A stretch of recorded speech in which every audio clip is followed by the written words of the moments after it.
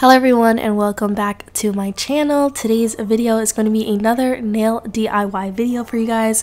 You guys seem to really like these videos on my channel. I have one that's like damn near at 50,000 views. So I was like, let me give the girls and boys another nail DIY tutorial. You know what I'm saying?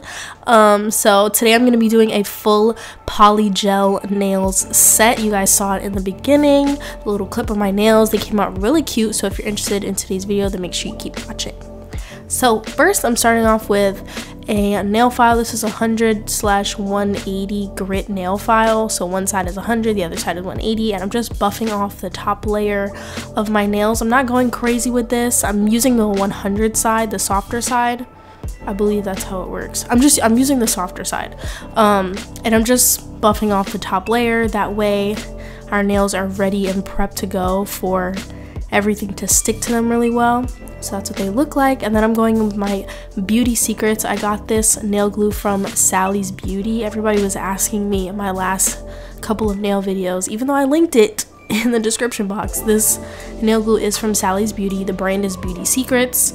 And I'm just gluing on these tips. These are Kiss nail tips. They're the long square set Everything will be linked in the description box down below, so don't worry about that. You'll be able to purchase everything online and have it shipped to you because, as you guys know, we're in quarantine right now, which is why I'm doing my own nails. I mean, I always have done my own nails, but you know, this is why you're watching this video because you want to know how to do your own nails at home because you want to feel cute again. You know, you want to have a little manicure going for yourself, and that is quite alright. Like, I'm here for you, boo. Like, I understand the struggle, so glue on your nail tips.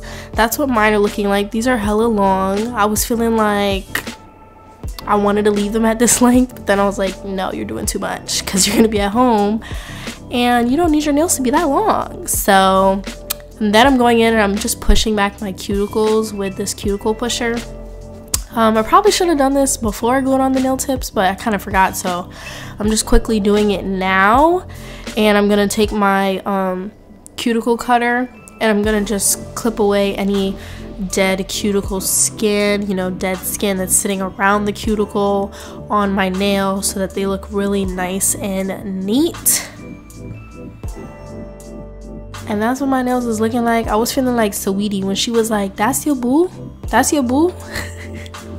so I'm just going in with a um, acrylic nail cutter this one is like the durable one so that you can cut through really thick or really thin nails, but I just clipped all the nails down to the desired length and then I'm going back in with my nail file and I'm just buffing the little like ledge. I don't even know what to call that but I'm buffing the tip where the tip is glued on so that it's smooth so there's no like ridge there or bump. Um, and I'm doing that to all of my fingernails as you can see that's what that looks like. They, they real come together you know? And then i decided i wanted to do like a ballerina shape ballerina slash coffin. They're not going to be super narrow but i did want them to be more tapered in because they kind of do go out because they're a square um, nail tip. I actually want to purchase some already shaped ballerina or coffin style nail tip. So I'm going to be ordering that today on Amazon. But I just went ahead and I cut the sides with my cuticle cutter. like, But I just kept it towards the top of the nail or the end of the nail. And I'm just cutting off those sides and that's what that looks like and then I'm gonna go in with my nail file this is from Kiss it's really really great nail file I love this nail file so much I believe I also purchased this at Sally's Beauties or I might have gotten it at the regular beauty supply store which is not open right now because it's not an essential business and I'm just I'm hurting inside because I want to go into the the beauty supply store and I want to spend two hours in there just looking at everything you know? Like after you shape your nails they should look like that. And then you're gonna go in with your pH Bond Dehydrator. This is a part of my Gelish nail kit. I've used this in about every single video, so I will have a link down below. But you just want to apply a dehydrator to your nail and only your nail. And then you want to go in with your primer, your bonder, whatever you want to call it. You don't want to be as generous as I was with this. You want to, a little bit less is necessary. Like, a little bit less is more than okay. I was kind of heavy handed with this. You don't need that much. And then I'm gonna go in with my foundation. This is just a base coat. This also came in my Gelish nail kit that I purchased off of Amazon. Again, everything will be linked down below. Doing one thin layer of the foundation and I'm going to cure for 60 seconds. So I did cure after the primer. So I did the primer, I cured for 60 seconds, put the foundation on, cured for 60 seconds. And now we're at the polygel portion of this video. Polygel, I'm not like super experienced with it. I've used it mm, less than a handful of times, but this was actually really easy to use. My camera died right as I was putting it on that nail, but I'm gonna show you the next two fingers for certain. So I already did three and I have two more to go.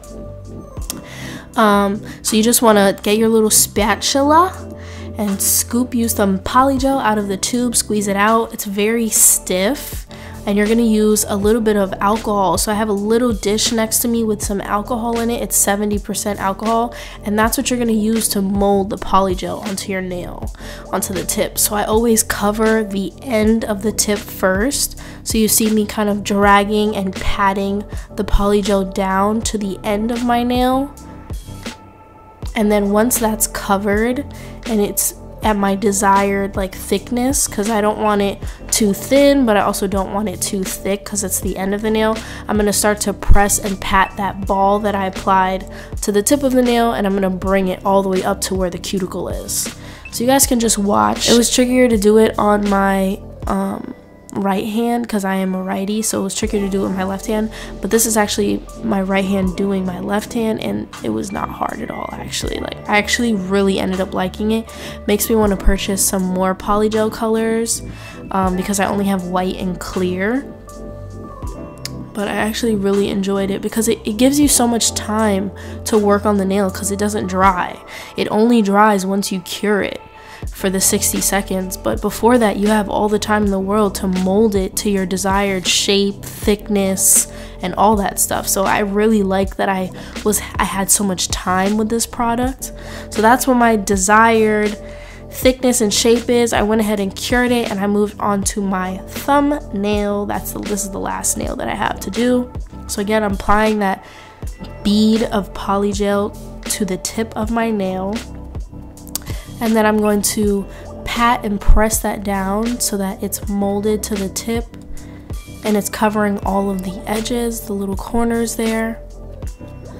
And then once I have it at my desired thickness, I'm going to start to press that bead into the rest of my nail, slowly dragging it up to the cuticle and this bead didn't go all the way to my cuticle so I'm gonna go ahead and like add another one but I'm just showing you guys what it looks like so far. So I'm going in with a second bead. You can do like a two ball bead method where you apply two as opposed to just one to cover the whole nail but I feel like applying one for me is just easier because you don't want to apply too much polygel because then you'll have to take some off which is kind of what happened here but I wasn't able to put on the exact amount that I needed so I had to go in with a second ball of polygel. And I'm just molding those sides cleaning it up. Remember I'm using alcohol for this. I'm not using acetone um, and it's 70% alcohol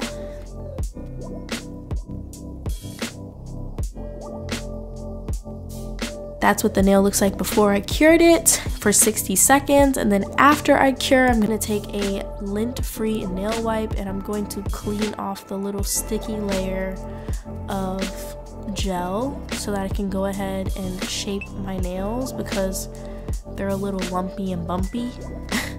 I said that a lot in one of my videos and somebody was like, you really like to say a lumpy and bumpy. And I'm like, yeah, I mean, how else am I supposed to describe what the nail is looking like? It's looking lumpy and bumpy. Like, I don't know what to I don't know what to say. So I'm just going in with my nail file and I'm shaping my nail. I'm buffing the top so that it's nice and smooth, getting rid of those lumps and bumps. And I'm doing, I'm gonna be shaping the sides as well to make them nice and sharp and to really give me that coffin ballerina shape that I'm going for. So that's what they look like after I buff them. They looking real good, They look cute. Look at that thumb. I mean, I've paid like 50 $55 for a set like this, and I'm doing this at home for like 15 Like, I don't even know how much it cost me, but it wasn't that much. And then I'm going in with my top coat. This is also from the Gelish Gel Kits. And I'm just doing a single layer of clear top coat to my polygel nails.